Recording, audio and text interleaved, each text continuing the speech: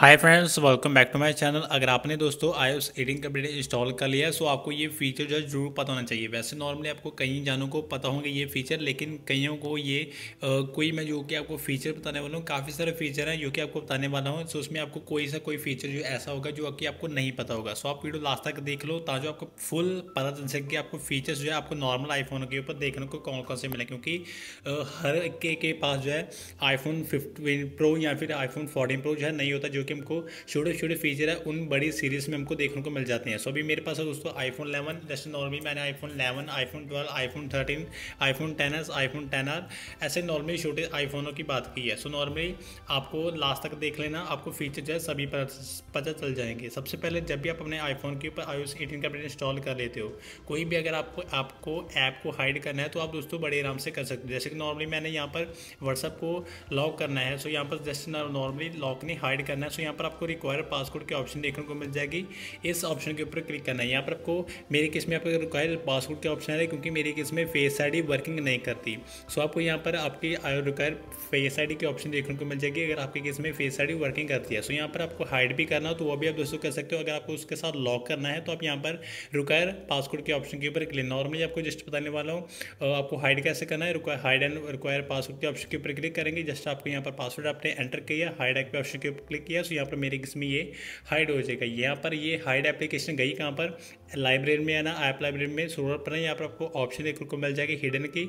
इस ऑप्शन के ऊपर क्लिक करना है देन आपको यहाँ पर अपना पासवर्ड एंटर कर देना है। यहाँ पर आपको हिडन एप्लीकेशन जो है देखने को मिल जाएगी। सो यहाँ पर आपको डाउन रिक्वायर पासवर्ड के ऑप्शन के ऊपर क्लिक कर देना अगर आपको अनहाइड करनी है। सो आपको यहाँ पर मैंने दो फीचर एक तरह से दो फीचर आपको बता दिया, क्योंकि एक फीचर है ऐप को हाइड करने का दूसरा फीचर है आपको ऐप को लॉक करने का। तो यहाँ पर आपको दोनों ऑप्शन जो है आपको सेम देखने को मिल जाएगी। अगर आपको लॉक करना है तो आपको पहले ऑप्शन के ऊपर क्लिक करना है। अगर आपको हाइड करना है तो आप सेकंड ऑप्शन के ऊपर क्लिक करना इतना तो ऐसे आपको नॉर्मली पता होगा। इतने डिटेल में जाऊँगा तो वो एक तरह से मेरी बेकूफ़ी होगी क्योंकि इतना सभी पढ़े लिखे आप हो ही अगर आप ऐप यूज़ करे हो।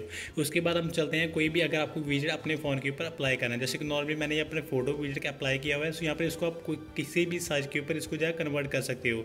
यहाँ पर आप पहले हमको साइज़ में साइज़ पहले सेलेक्ट करना पड़ता है लेकिन अब हमको कोई भी अगर साइज़ के ऊपर क्लिक करना है तो हम दोस्तों बड़े आराम से इसको साइज़ में कन्वर्ट कर सकते हैं। देन आपको किसी भी जस्ट नॉर्मली आपको जो है होम स्क्रीन के ऑप्शन के ऊपर क्लिक करें देन आपको यहाँ पर एडिट के ऑप्शन देखने को मिल जाएगी कस्टमाइज के ऑप्शन देखने को मिलेगी, यहाँ पर आपको ऑप्शन देखने को मिल जाएगी स्माइल की एक लार्ज की। आप अपने ऐप्स को बड़े भी कर सकते हो, आप जैसे चेकआउट कर सकते हो, मेरे केस में यहाँ पर मुझे नेम जो है वो हाइड हो चुका है देन आप यहाँ पर लार्ज के में एक तरह से ऐप्स जो है वो काफ़ी सारे लार्ज हो चुके हैं। वैसे नॉर्मली स्मॉल के ऊपर भी बेस्ट रखता है लार्ज के ऊपर भी बेस्ट रखता है, वो आपका देखने का नज़रिया कि आपको देखने में कैसे अपने फ़ोन के लॉक स्क्रीन लगती है। उसके बाद आप ऑटोमेटिक ऑप्शन के ऊपर क्लिक करो।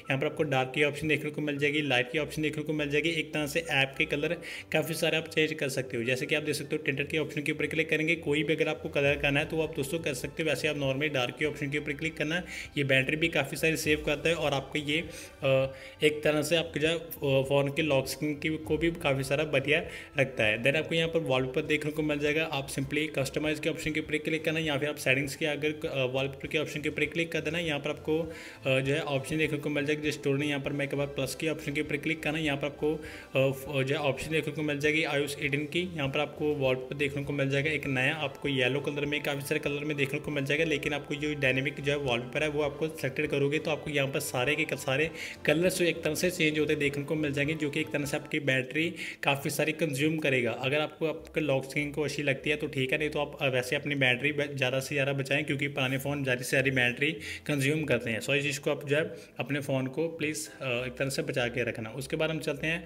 कंट्रोल सेंटर की तरफ़। आपको ये कंट्रोल सेंटर हमारा फुल चेंज कर दिया गया है। यहाँ पर आपको ऊपर दो ऑप्शन देखने को मिल गए, एक प्लस के आइकन की, एक पावर ऑफ़ की।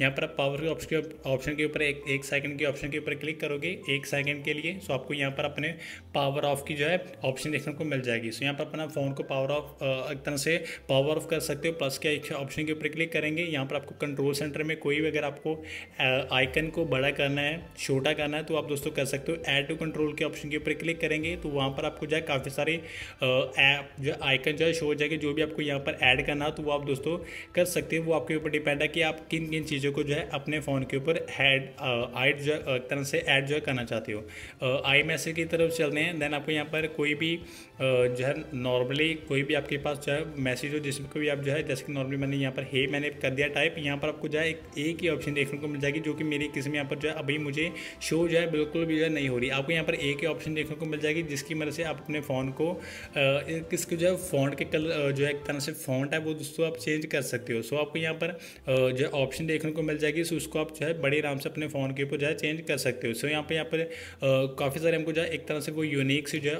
जो है एक तरह से हमको ऑप्शन देख दी गई है यहाँ पर आप चलेंगे कॉल की तरफ़ सो यहाँ पर आपको जो है वॉइस मेल का फीचर जो है एक्टिवेट कर दिया गया है जो कि एक तरह से काफ़ी सारा यूज़फुल है अगर आप अपने फ़ोन के ऊपर अभी एक्टिवेट नहीं हो सो आपको वो जो भी आप बंदा वो आपका वॉइस मेल फीचर ऑन हो जाएगा, आप उसको जो जो भी आपको मैसेज देना चाहता है, वो आप दोस्तों मैसेज उसको वो आपको मैसेज दे सकता है। देन आपको लास्ट में जाएगी हम कैलकुलेटर के ऑप्शन कैलकुलेटर की तरफ़ चलते हैं।